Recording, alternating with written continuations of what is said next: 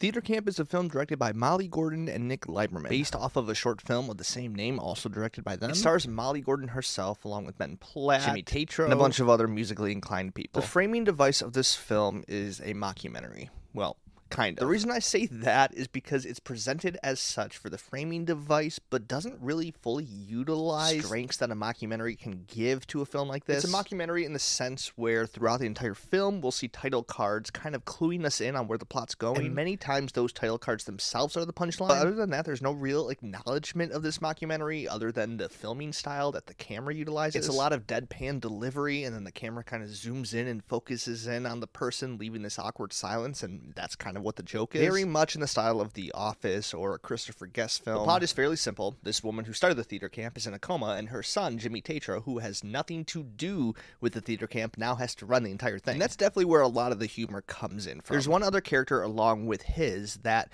don't really know anything about theater camp, and so they kind of serve as this audience surrogate for those of us myself included, that did not attend a theater camp. And so a lot of the humor is kind of poking fun at how ridiculous this all seems from someone on the outside. I think this is a perfectly adequate film. Was I laughing at every single joke?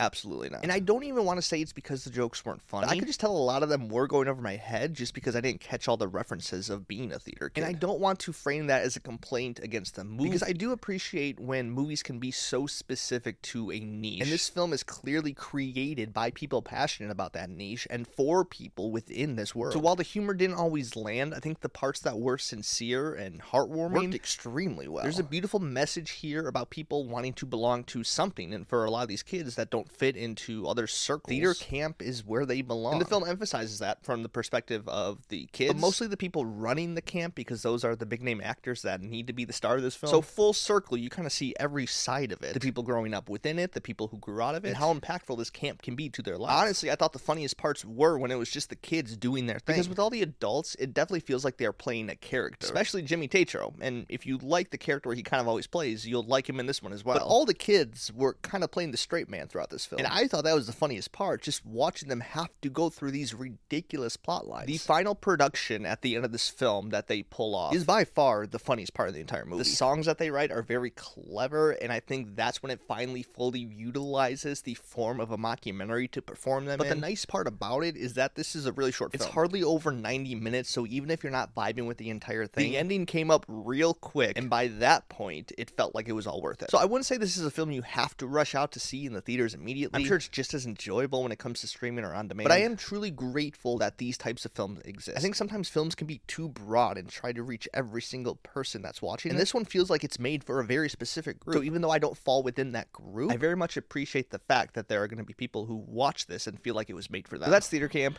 Have you seen it? What do you think? Comment below. Don't forget to like and subscribe if you want to see more content like this, and I will see you next time.